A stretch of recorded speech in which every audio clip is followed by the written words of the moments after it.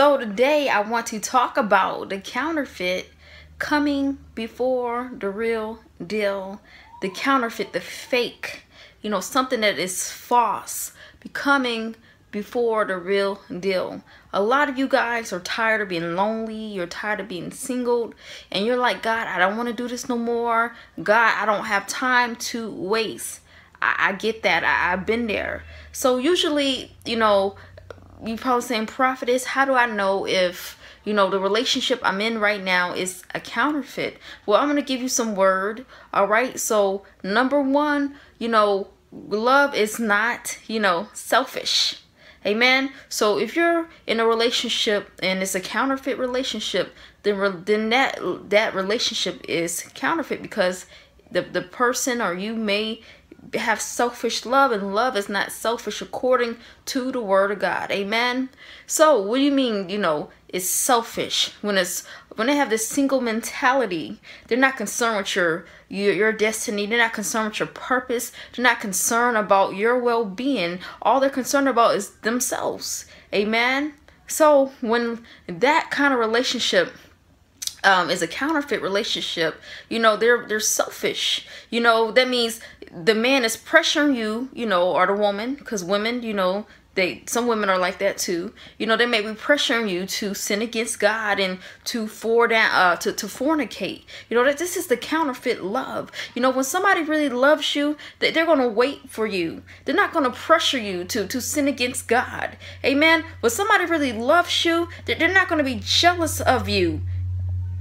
See, a, a lot of people cannot walk in their call or their purpose because they, you know, connected with the wrong person. This is the counterfeit love. You you need to have someone that's going to protect you, that's going to root for you. They're going to make you feel like you can win. They're going to make you feel like you can achieve everything that you set your hands on to do to to get it done. So this is the counterfeit love. You know maybe you have experienced this. The counterfeit love but i want to tell you god wants to heal you. God can heal your heart. Amen. And guess what? The real deal is coming because guess what? Every relationship that you have went through that you that that failed and it didn't work out you learn from that. You learn from those mistakes and you grow and actually you get stronger and you hold on. You say okay god you know i i realize you know i, I can't date someone you know that's not a believer. I can't date someone that's irresponsible in this uh, matter of their lives. You know i need to date somebody with the same goals the same aspirations that's on the same pathway as me. All right so you begin to mature.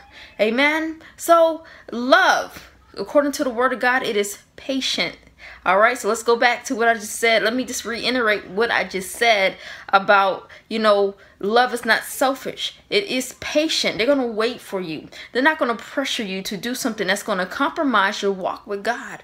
Love is kind. According to the scriptures, love is kind.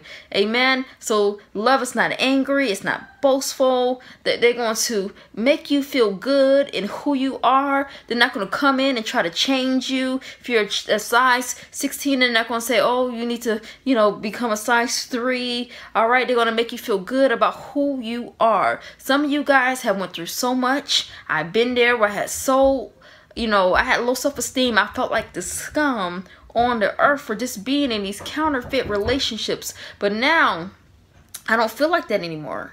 All right, I don't feel like, you know, I'm I'm lower than nothing because I, I feel secure on who I am in Christ and the man that God placed in my life, you know, he he makes me feel, you know, secure in me. All right? So a lot of women, you know, a lot of people you're in the wrong relationship, a counterfeit relationship, and you don't feel secure in your relationship. You know, you, you know you, you you're jealous and love is not jealous. Amen. Real love is not jealous. You you need to be secure.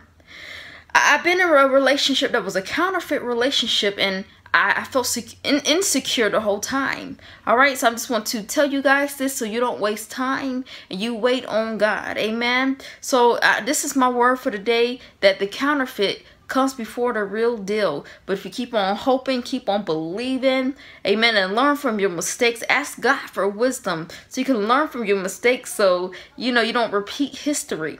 See, some of you guys, you need to pray right now for God to break that cycle break the cycle. Amen. You can't always go by looks. You can't always go by social economic statuses. You can't always go by, um, you know, what people say. You got to get to know the person yourself.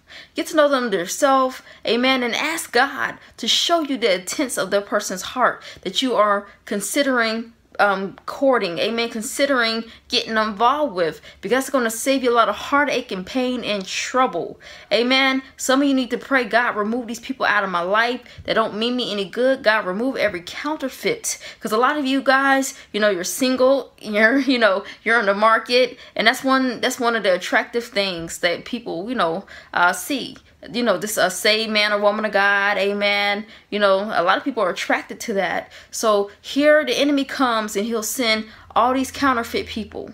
All right, but we got to lean on God and say, God, no, God, you, and, you know, give me the, the discerning of spirit so I can recognize, you know, the, the, the real from the fake.